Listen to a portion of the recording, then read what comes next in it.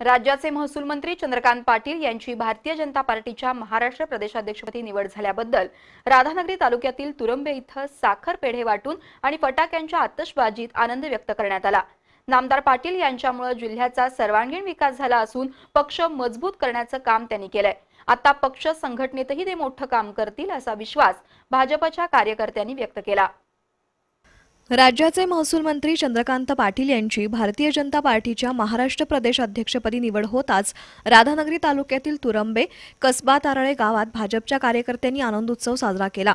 यावेळी भाजपचे राज्य कार्यकारिणी सदस्य लहू जरग म्हणाले नामदार चंद्रकांत पाटील हे विद्यार्थी चळवळीतून राजकारणात आले. मुख्यमंत्री देवेंद्र फडणवीस यांनी त्यांच्याकडे महसूल आणि सार्वजनिक बांधकाम अशी महत्वाची खाती सोपवली आणि चंद्रकांत दादांनी या खात्यांना न्याय दिला. पालकमंत्री म्हणून चंद्रकांतदादांनी कोल्हापूर जिल्ह्याचा सर्वांगीण विकास करण्यासाठी सुमारे अडीच हजार कोटी रुपयांचा निधी आणला.